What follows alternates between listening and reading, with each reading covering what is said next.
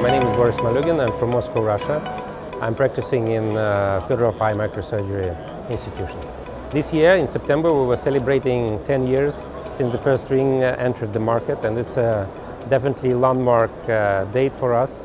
And uh, definitely, the thing is that as a surgeon, you have a limited ability to help uh, a lot of patients. So You can do couple of thousand surgeries during your professional life, but but being able to help uh, one million patients all over the world is a big, big privilege actually uh, uh, to help other doctors, to, to help patients, to avoid complications. And uh, I'm very proud that I'm, I'm very glad that I had this opportunity to help so many people. That's uh, quite a rare, unique thing.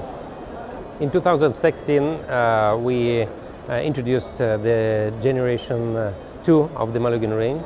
Uh, which is uh, softer, more elastic. Uh, this is because we changed the material. it's now 5.0 polypropylene rather than 4.0 polypropylene in the classic version. And of course, everything should be redesigned from the inserter to the holder. And now the ring can go inside the eye through an enlarged 2.0 millimeter incision. But most importantly, it's uh, more elastic, it's more soft, and it's more gentle to the iris. And I love to use this uh, iteration of the ring, specifically in intraoperative floppy iris syndrome, which is, I believe, a very good indication.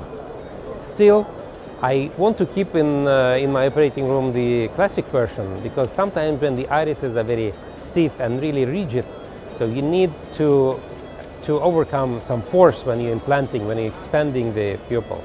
And that's why the classic version still works well for me in these particular cases. So I think uh, this is a good addition rather than uh, complete substitution of uh, one with another.